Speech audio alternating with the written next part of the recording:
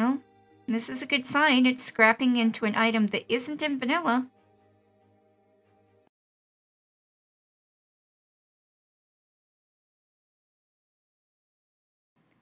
Hello everyone, my name is Sammy from ZamiZee Gaming. Today I am going to show you how to install mods into your 7 Days to Die game the way that I do it, which includes creating a new profile so any updates from the Fun Pimps does not suddenly make your current game unplayable. So first, we need to find some mods. I tend to find most of my mods from Nexus, but you can simply open a search engine here and search for 7 Days to Die mods.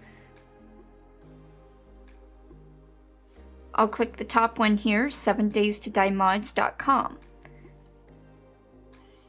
I am running Alpha 20, so I'm going to search for Alpha 20 mods.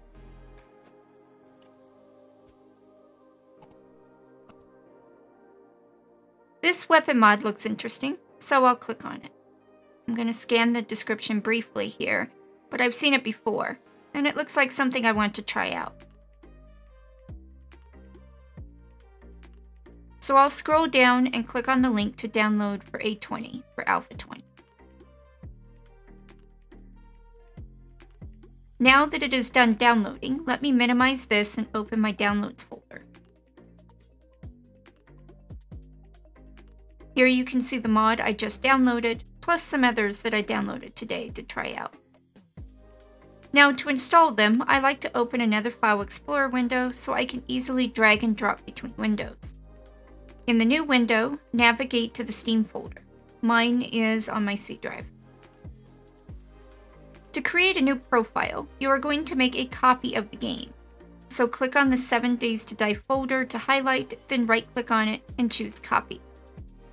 Now click on a white space below everything to unselect any folders or files, then right click again and choose Paste. This will start the copy process and just let it run. You should have no problems as long as you have enough space on your hard drive to do this. I would recommend checking that first. Now that it is done copying, I am going to rename this folder to 7 Days to Die Mod. This is purely for my benefit, so I can tell the profiles apart. Now we need to go into that folder to start installing mods. You will notice that all of these mods are in zip files. I personally use 7-zip, which is free to download, but you can certainly use any zip program that you wish, including the zip program built into Windows. For me, I am going to right click on this Vanilla Plus mod, go down to 7-zip, click on it, and then choose Open Archive. This will let me see what is in the zip file in its own window. Let me just move this to the side so I can see my 7 days to die window. Now I am going to go into this mod folder in the 7-zip window to check the mod. There's only a config folder and a couple of files, so we're good. Okay, so we now can go back up and drop it into the mods folder. Let's click on the folder with the up arrow, then click on the folder to highlight it. Go back to your 7 days to die window, double click into mods if you haven't already to enter the folder. Now just drag and drop the folder from the 7-zip window into the mods folder. Let it do its thing, it'll copy right over.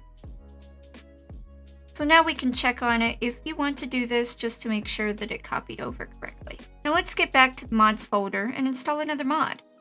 Go ahead and close that 7-zip window, we don't need it anymore. Let's choose this prefabs mod and do the same thing.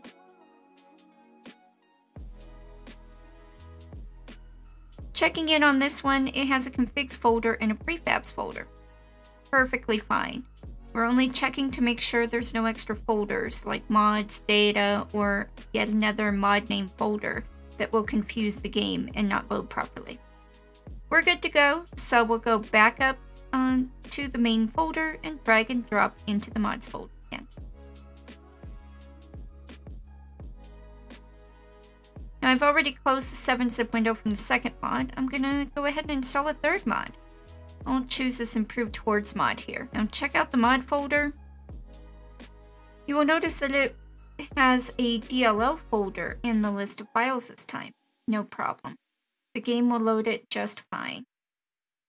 So go ahead and click on the up arrow uh, for your folder, go back and drag and drop into your 7 to And that's it for installing them into the files. Now we just need to get Steam to see where our new game profile is at. Let me get Steam loaded up here. Okay, now that Steam is loaded up to my library, we'll go to the top where it has Steam, then add a non-Steam program.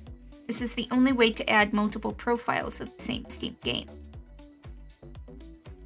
So with this window, you'll see a list of all the programs installed on your computer. Just ignore it, go down and click on Browse. And find the folder that we just created, in my case, 7 Days to Die Modded. Go into the folder, and you will have three options to choose from. 7 days to die.exe, 7 days to die eac.exe, and 7 days to die launcher. Most mods now require EAC to be off to load properly, so you can choose either regular EXE or the launcher. Either way, you'll need to make sure EAC is off.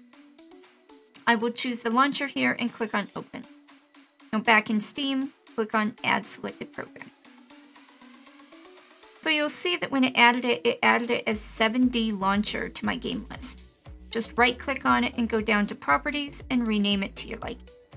In my case, I'll name it 7 Days to Die Modded.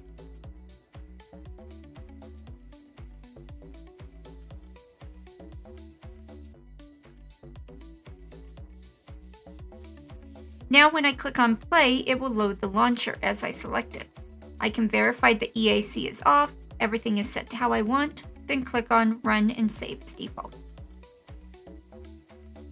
You will also notice when it's starting to run, it shows me as running the main game 7 Days to Die.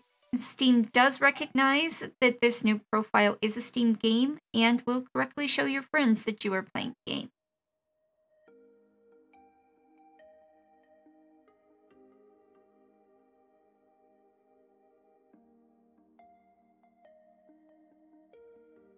Once the game has loaded, it we'll go ahead and create a test world just to make sure that the mods have loaded correctly. I'll just name it modded test. And accept the Windows firewall pop-up when it comes up.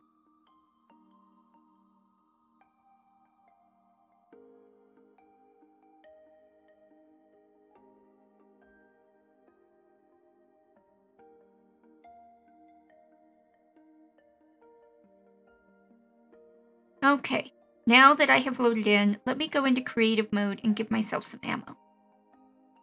The Vanilla Plus mod that I installed will let you scrap ammo back to their basic parts, so this is a good test to make sure it's installed. Well, this is a good sign it's scrapping into an item that isn't in vanilla.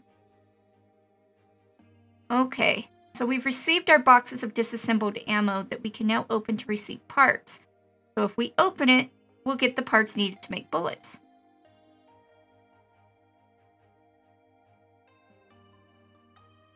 And I've verified it. We are done. The mods are correctly installed. There's no errors. And we are able to use things that are not in vanilla. I hope this helps you to start playing modded 7 Days to Die, which gives you a wealth of more opportunities to play and diversity in the game. If you have enjoyed this video, please click the like button and subscribe for more survival game tips. It really helps and it helps to grow the channel and provide you with the content that you would like. And with that, I'll see you in game.